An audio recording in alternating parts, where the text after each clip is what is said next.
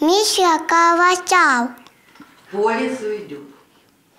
Мишка село идет, Шишки собирает. и комат кидот. Це Женя. У свої чотири рочки дівчинка вже встигла побувати на межі життя і смерті. Півроки тому в будинку її родини сталася пожежа. Маленька отримала 60% опіків тіла. Замкнула проводка в доме, и образовался пожар. Я прекрасно понимаю, что такое 60% – это даже не 5% на то, что выживет. Не один місяць медики боролися за життя дівчинки, провели їй десятки операцій та замінили опечену шкіру на штучну. Наступний етап це е, лікування ускладнення пікової травми. У дитини на фоні того, що е, уражена була е, шкіра на всю товщину, у неї сформувалися рубцеві контрактури, тобто вона не може розігнути ноги в колінних суглобах. І для того, щоб уникнути уражень е, суглобів, щоб це не залишилось в неї назавжди на все життя, е, ми починаємо вже етапи конструктивного лікування. 11-річного Костю теж рятують в лікарні на космічці. За тиждень до нового року кам'янчанин потрапив під потяг. Мати хлопчика зі сльозами на очах згадує цей страшний день. Я позвонила Косте, он не отвечал.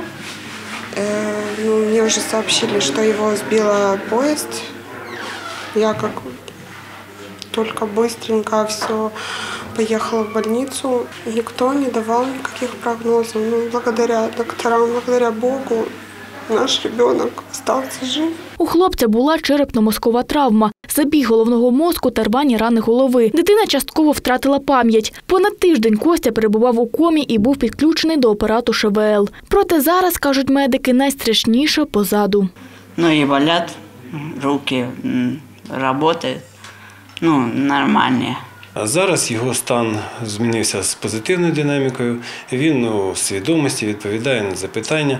В неврологічному стані зберігається е, порушення рухів, геміпарез, адже воно е, потроху йде на лад. Ще одна пацієнтка дитячої лікарні поки безіменна дівчинка, від якої відмовилися батьки. Вона народилася недоношеною, навіть не могла самостійно дихати. Дитина перенесла кисневе голодування, погано засвоювала їжу і деякий час лежала в кювезі. Сейчас состояние ребенка стабильное, поддержки по дыханию она больше не нуждается, активно набирает вес. Ну, мы готовим документы, и на, на данном на- этапе она просто растет.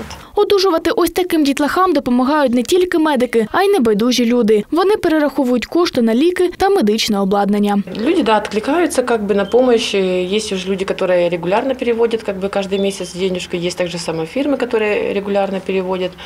И есть люди, те, которые, например, не переводят, но они закупают препараты как бы и отвозят этому ребеночку лично. То есть и Сейчас немножко тяжелее, потому что с с локдауном как бы люди отдыхали, и сейчас немножко тяжелее идут сборы. У 2020 році на допомогу хворим та потерпілим волонтери витратили понад 3,5 мільйона гривень.